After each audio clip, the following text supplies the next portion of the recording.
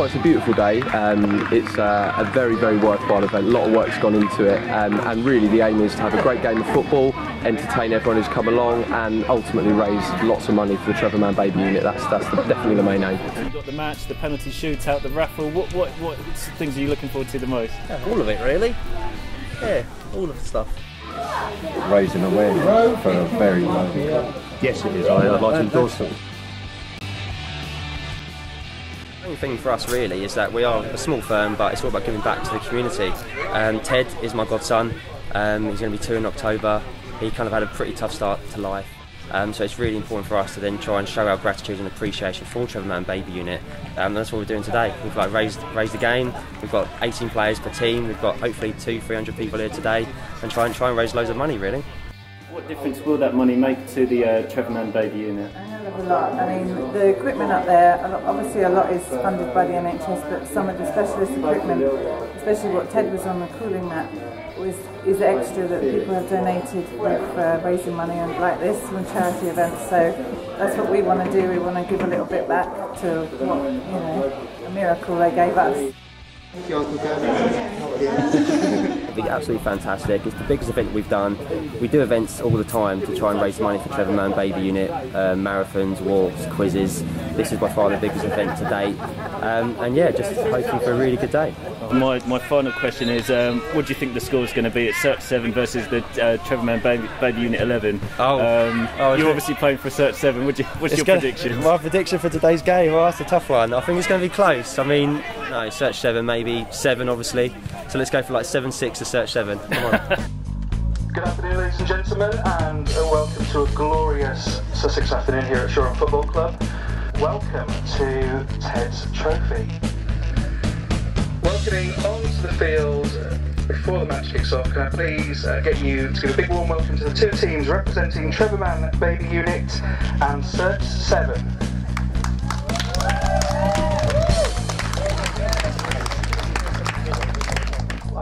Do a bit of a walk down the two teams to introduce them, just to make it very clear the team in the white and black stripes are not Newcastle United or Udinese or Juventus, but in fact representing the Mann Baby unit. And the team in red and black hoops, for those of you watching in black and white, are team representing Search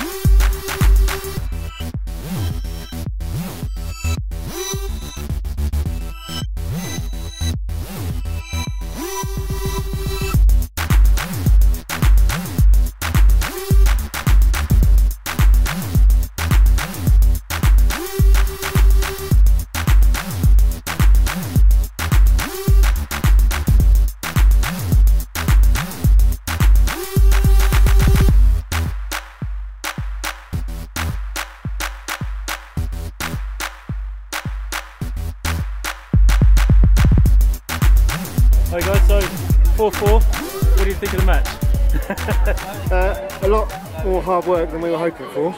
But no, it's good. Played in good spirits and everyone seemed to enjoy themselves. And no, I think 4-4 was good in the end of it, so there's no arguing in the clubhouse afterwards. There was a bit of controversy that it didn't go to penalties. Um, I know the crowd wanted penalties, but we just wanted beer, so uh, we kind of called it time. I think we've seen the death of the English football game. I think we really have. I think, I think both teams put in a good effort. a good effort. I'm too ashamed to talk. Everyone showed up today, which is lovely. Um, hopefully, we've managed to raise loads of money for charity, for Ted's charity. So, uh, yeah, all in all, it was a good day. I think it's amazing. I mean, I think it's not just the. I think the money's one thing, but I think the fact that it's brought a bunch of people together who probably wouldn't get together normally, and they've started talking, and they found out they've got shared experiences and sort of people they know. I think that's powerful. I think that's what will make you know next year even better. Just been phenomenal. And again, once a huge thanks to Gav, all our helpers, um, and the money we've raised is just way, way it's more gonna- than we. we, we know it's going to make a massive difference. Everybody was here with the right frame of mind. Everybody wanted to come and enjoy themselves, help Yeah. raise money, and it was just. I think everyone had fun. Yeah, the whole atmosphere, the whole day has just been great, which has helped everything just you know be what we hoped it would be. Perfect.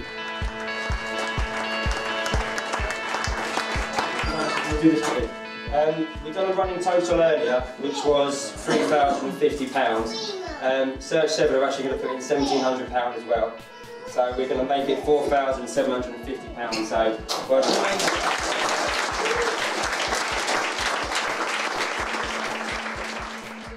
Would I be right saying you haven't seen Ted probably since he was? I've not seen him since he was a baby, and he is absolutely gorgeous. He's so lovely. Yeah, he's, he's It's really lovely lovely for us as staff. I mean, I do remember looking after Ted when he was very, very sick and very, very poorly.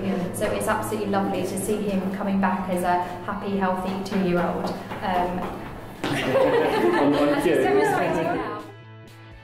um, really great just to have an idea where that where that money will go to and how that will benefit the uh, the Trevor Mann Baby Unit. Yeah, so the money that's been raised, which I really, really appreciate, um, is going towards what's called a RET cam, which is a special camera that the eye doctors, the ophthalmologists use to look in the back of the eyes of the preterm babies. So it's really to help the ophthalmologists pick up those babies to hopefully prevent blindness.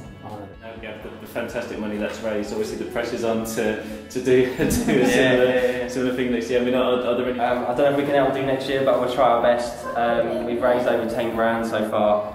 Um, this has been our biggest event, but if we can try and surpass that next year, then we'll do our best to do that. Orange 24.